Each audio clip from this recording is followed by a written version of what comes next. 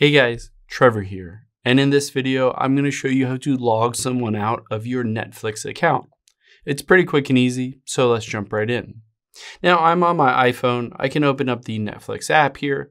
You can do this however you access Netflix, whether it's on an Android phone, a tablet, a computer, or even on a TV using the Netflix app on your TV.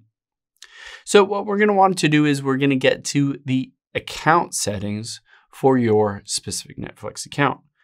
So let's tap on My Netflix at the bottom right.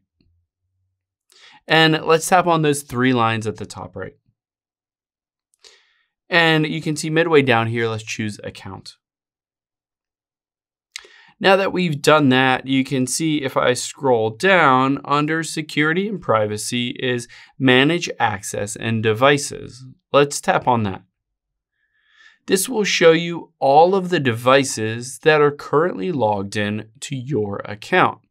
If you want to log out from other devices, you can always just hit this sign out button and you can see this account or that device is now signed out of your account.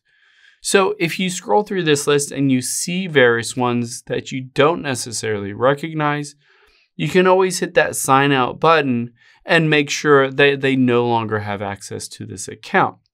However, if they do have the username and password for it, you might want to scroll to the very top and hit change password.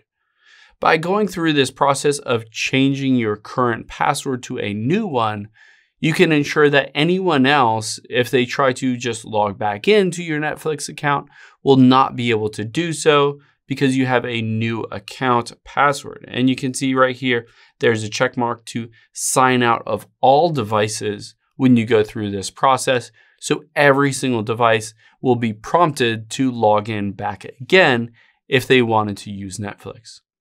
I hope this helps. If it did, hit the subscribe button down below. It really helps me out. And I'll catch you on the next one.